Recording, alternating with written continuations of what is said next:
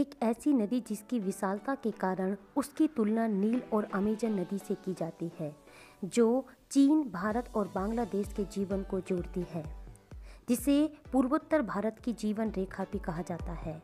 इस विशाल नदी का नाम है ब्रह्मपुत्र नदी।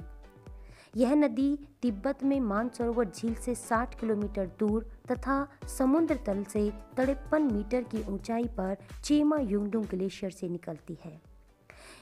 इस नदी को तिब्बत में सांगपो के नाम से जाना जाता है और यह पूर्व की ओर बहते हुए अरुणाचल प्रदेश से भारत में एंटर करती है और अरुणाचल प्रदेश में नमचा बरबा पर्वत से भारत में एंटर करती है। इस नदी को अरुणाचल प्रदेश में दिहांग नदी के नाम से जाना जाता है।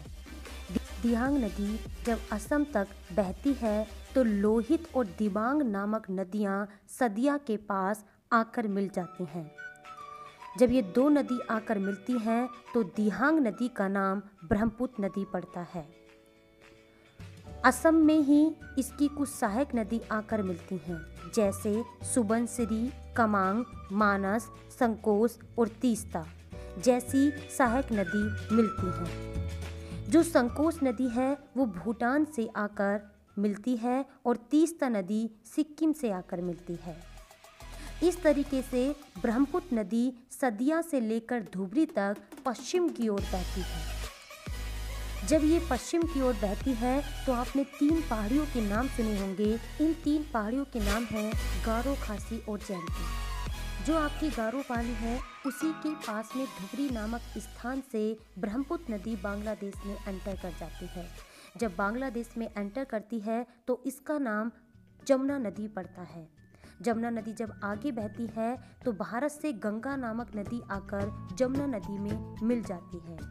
जब गंगा और जमुना नदी आपस में मिलती हैं तो इसका नाम पद्मा पड़ता है।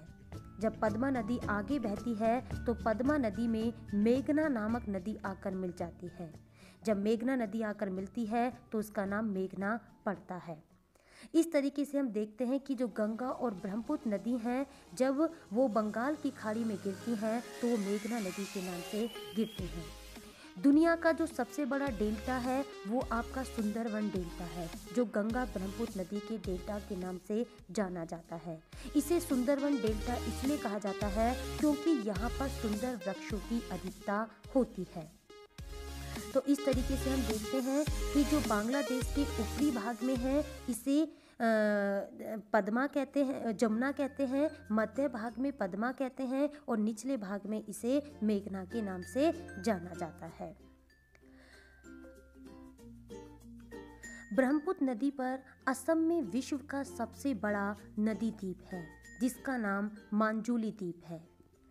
इस तरीके से जब हमने देखा था कि लोहित और आपकी जो दिहांग दिबांग नदी आकर असम में मिलती हैं तो वहाँ पर एक पुल बनाया गया है, जिसका नाम है ढोला सदिया पुल। तो जो ढोला सदिया पुल है, वो ब्रह्मपुत्र नदी की सहायक नदी, लोहित नदी पर बनाया गया है। और जो भारत का सबसे लंबा नदी पुल है, और जिसकी लंबाई 9.15 किलोमीटर है। 2016 में तिब्बत के झांगमू इलाके में चीन ने ब्रह्मपुत्र नदी पर एक डैम बनाया है।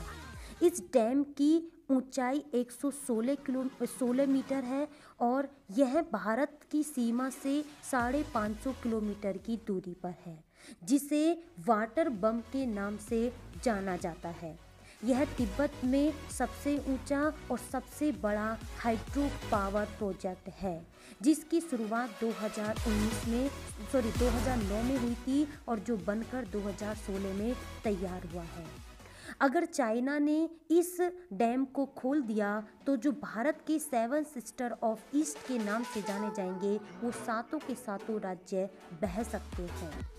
इसलिए इसे हाइड्रो जो पावर प्रोजेक्ट है, जो आपका ब्रह्मपुत्र नदी पर बनाया गया है, इसे वाटर बम के नाम से जाना जाता है। तो इस तरीके से हमने देखा है कि जो ब्रह्मपुत्र नदी है, वो आपके तिब्बत में चेमा युंगडुंग ग्लेशियर से निकलकर बंगाल की खाड़ी में सुंदरवन डेल्टा बनाते हुए गिर जाती है।